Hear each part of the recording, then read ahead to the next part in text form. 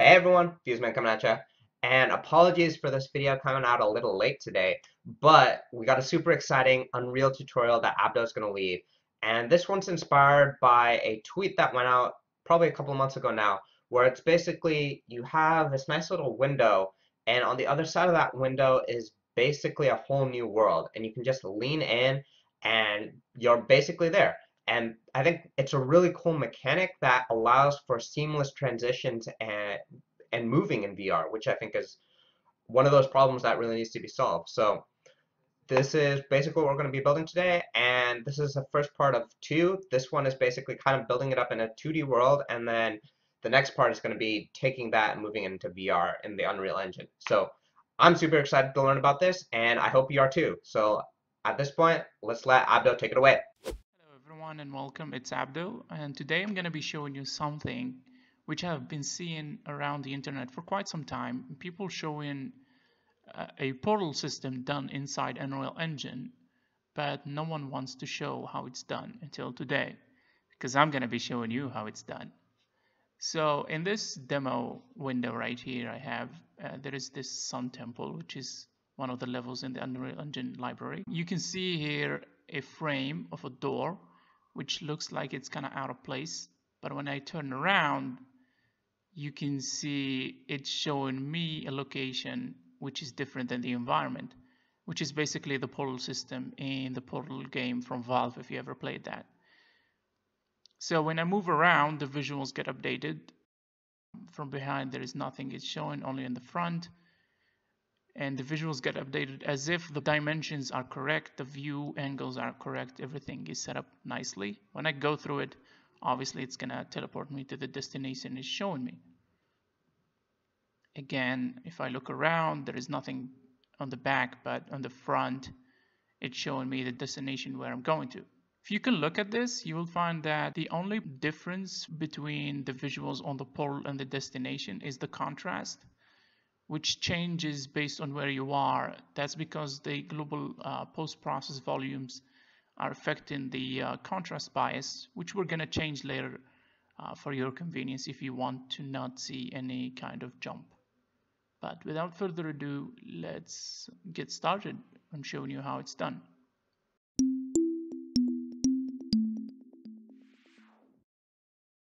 Create a new project based on the Sun Temple. Let's call it UE portal or something, create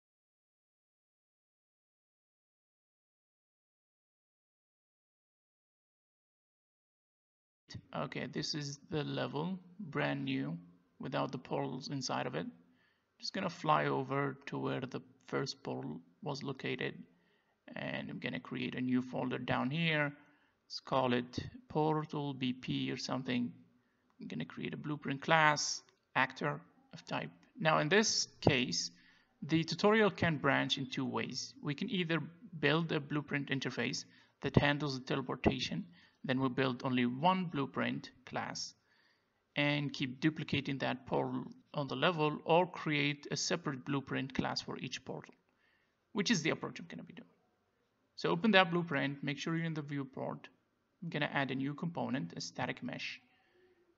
And when I try to load a mesh, it's missing because the mesh I want to load the frame happens to be in the starter content. I'll just copy it from the previous project. Just go to content, start content over here, copy it. Just gonna copy it to my current project.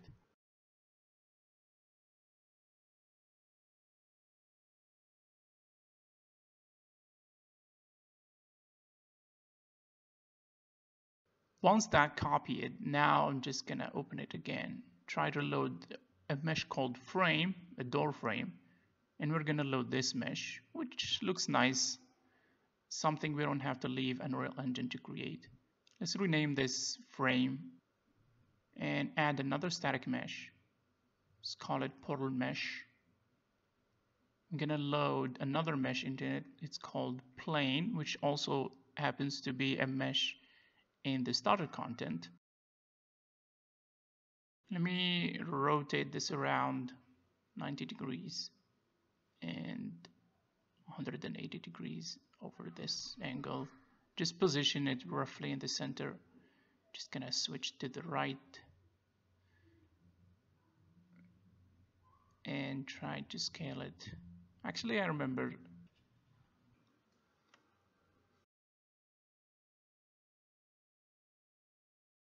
You can change the scale snapping on from this menu if you want smaller snapping and you want to scale it manually. Just add another component, a, a most important component, the scene capture component, uh, 2D one of course. And I'm just gonna name it uh, portal view. And then the last one, it's not necessary, but I'm just gonna add an arrow which will help us in the placement of the portal. Make sure that the our portal facing the right way we want. And that's it. I'm just going to compile and save, close this. I'm going to duplicate the portal, Control W. It's going to duplicate another portal and name it for me. And if I drag the portal, I'm going to rotate it 90 degrees. Let's go the other place and place the second portal. Drag rotate as, uh, as well 90 degrees make sure it's facing the right way. Fly back.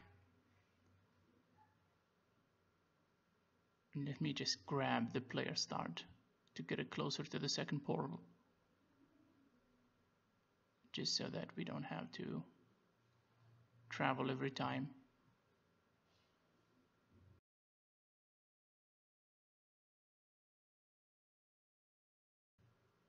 Me place the portal closer to the wall and the player starts a little bit closer as well. And one thing you want to make sure if, if you're doing this for your own project is that the capsule surrounding the player start must be fitting inside the door frame if you're using this particular door frame. And if you want to edit that capsule, make it a little bit thinner, let's go to uh, the blueprint there is a this first person blueprint just edit the scale on capsule component. Make sure you have that selected and just adjust the scale. Okay since it's working in my case I'm not gonna do that. And now we're gonna start with the teleportation component of this tutorial so that when we step through one portal it's gonna teleport us to the second. Open the level blueprint for that matter Let's go ahead and delete this play cinematic event. Compile, make sure you save everything in the blueprint folder that we created. And let's go and select portal 1, portal 2 in the hierarchy. And in the blueprint, right click and then choose create reference to selected actors. And then add on actor begin overlap. That's going to create what we need for the teleportation component. Let me drag the portal 1 and the begin overlap associated with it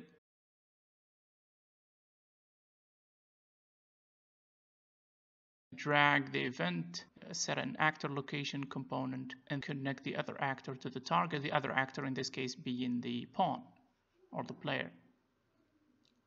And I'm gonna get the world location from Portal 2. Let's choose world location default scene root. You can choose any of the others, but this one tends to work best in this case.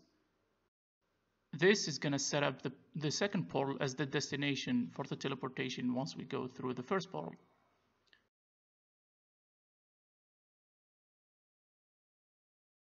But you will notice a problem. I can't go through the portal. Why? Because the plane is set up to block dynamics and we can fix that by going to the blueprint, say overlap only pawn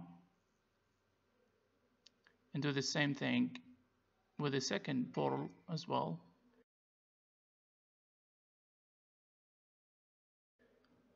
Overlap pawn only, compile and save. And now once we try to go through it, it teleports us to the second portal like we want. Obviously we can't teleport the second, but you can see that the door frame is blocking, but the plane itself is not, which is what we want. Let's go ahead and open the level blueprint again. Well, one simple reasoning would be to do the same for the second portal, right? It's gonna work. I'm just gonna create another set actor location and make the right connections Again, get world location for portal 1, default scene root, connect that.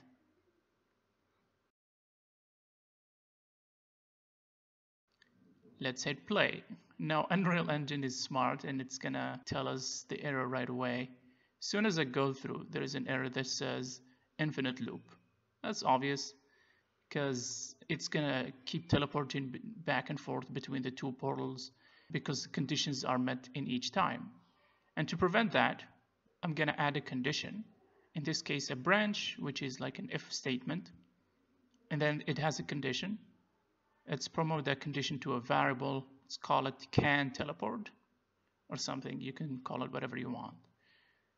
So can teleport by default is set to be true. If it's true, we're gonna teleport. If it's false, nothing happens. But to break the loop, I'm gonna have to set it to false once it's set to true. That means before, right before it teleports, it sets the variable to false, which means it will allow us to teleport through the portal only once.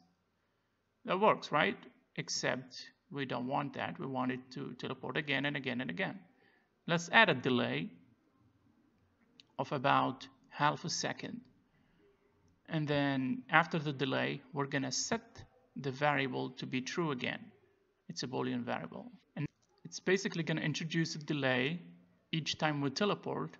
The delay will allow the player to get out of the overlapping zone, which would prevent the infinite loop from happening.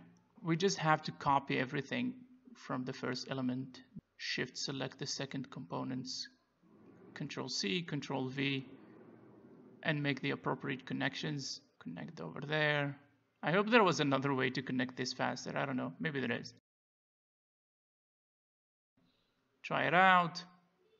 If you go through, hey, it's working. The teleportation is working without any problems or any bugs.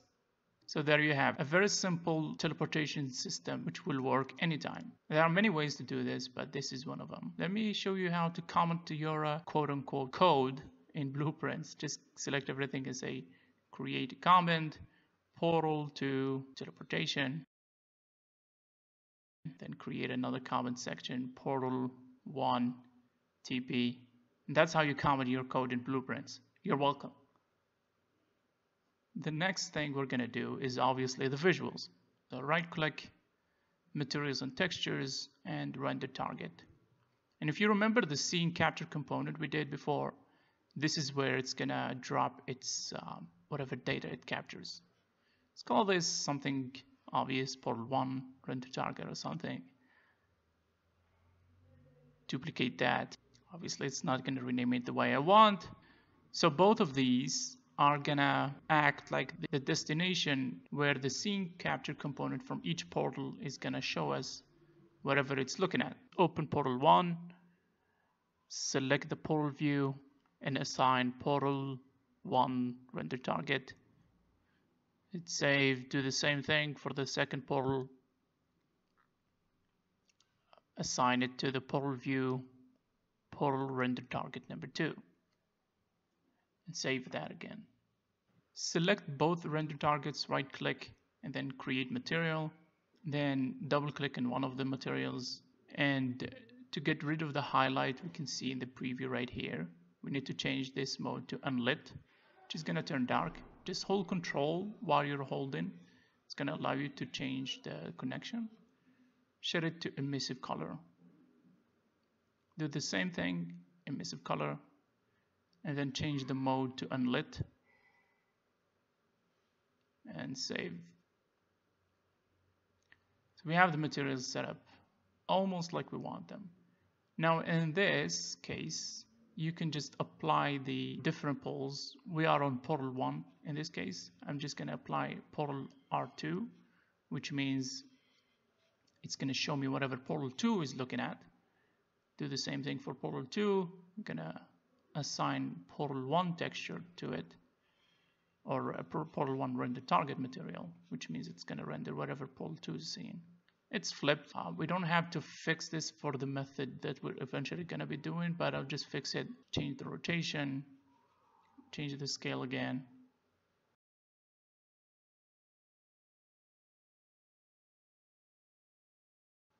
do the same thing for portal 1 rotate, change the scale accordingly, and save. Before I move forward, I'll edit the render target texture resolution to match the, the demo resolution. So I'll go to the render target, access the texture and change the resolution to 1920 by 1080. It happens to be like the resolution of this level when I when I click the demo.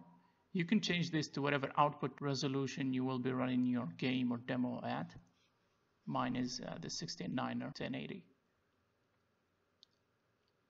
So it's looking distorted again, and that's fine, that's what we want. Let's go inside one of the materials.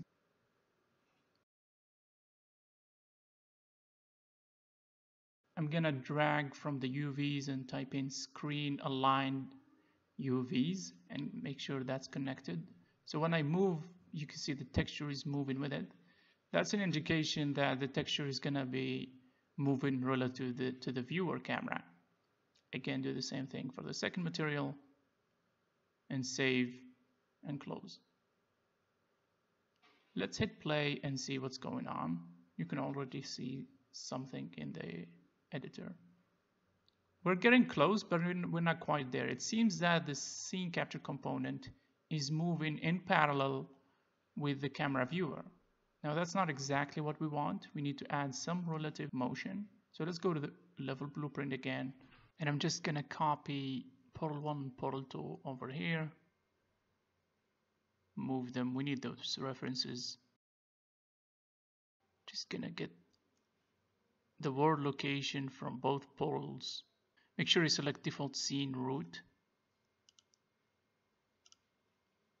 And now that we have the locations of both portals let's add some vector mathematics subtraction vector minus vector. It's gonna give us the difference between the two portals in the world. Let's add a, a player controller and then get the camera manager for this player and then get the transform component of the viewer or the player camera. Now, the mathematics involved with this method is like the relative motion. And what we essentially need is get the world location and the world rotation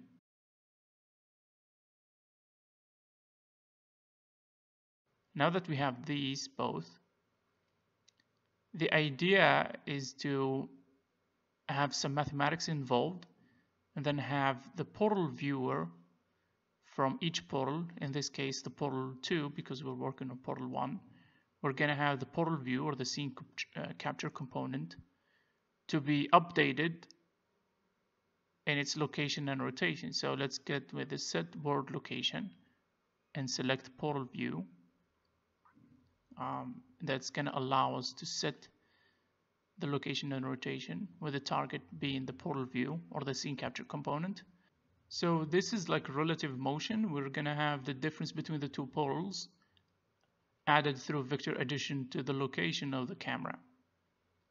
This is essentially going to take care of the camera angles and location and make that illusion that the portal has uh, that I showed you before, the effect. I'm going to add an event tick, which essentially is going to update each frame. So the location of the portal view is going to be updated in each frame. Don't forget to hook the rotation as well. And if we hit play, you're gonna see the exact effect we're looking for. It has the depth perception, so it looks like the portal uh, or the, the status and, the, and those rocks looks actually there. If we get closer, they get closer. If we go back, they get farther. We want to do the same thing for the second portal as well. Let's go back to the blueprint again, copy everything down remove the event tick. I'm just gonna make sure everything happens after this first portion happens. I'm gonna flip the two inputs for the vector subtraction.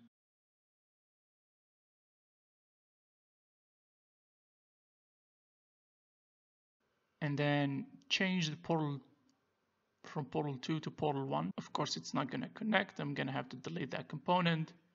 And if we connect it directly, it's going to get the wrong component, which is the default scene root.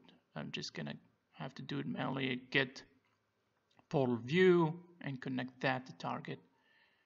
compile, and test it out. If we go to the first portal, obviously it's working. Now we go through, we teleport, and the visuals are correct for the second portal as well. Nothing from behind, but from the front, the depth perception is looking so realistic, looking very nice. The last thing we could be uh, facing is that jump in the visuals, which like I said in the beginning has to do with the post-process volumes. I'm just gonna edit the global post-process volume by going to the auto exposure and just you want to untick all of these. And then just do the same post process. Just gonna remove the, the exposure bias it has set on. And you're gonna have an almost seamless transition between the two poles. So there you have it. It's the best method out there it's like so linear the performance hit is not too big especially if you do the forward rendering instead of the deferred rendering. I'm just gonna get back and make the post-process volume set them back to default like they were. Now as of right now the way it's set up it's unfortunately not to work properly in VR which is why I'm thinking of releasing a second part where we go through and discuss how to possibly troubleshoot this problem in VR and uh, make it work. If you test it in VR right now, you're going to see a lot of flickering and also performance issues. Um, the performance issues are going to be easily fixed if you change to the forward render. But the flickering has to have a different approach to fix it. But in the preview right now, you can see it's looking great. The visuals are great. There is a slight delay of about one frame. I don't know if you can notice it. If I look away, the, the frame has some delay in updating the camera, and that has to do with the, the way the blueprints are set up. Um, it's barely noticeable, but you can probably fix it if you change the shading. Maybe it will help with the performance. I haven't tried it out myself, but it's something you can try out that would be all for this tutorial. I hope you enjoyed it and uh, this should be the solution for the mysterious um, portal system that a lot of people wanted to figure out but couldn't. Thank you very much for watching. Uh, it's been Abdo over and out.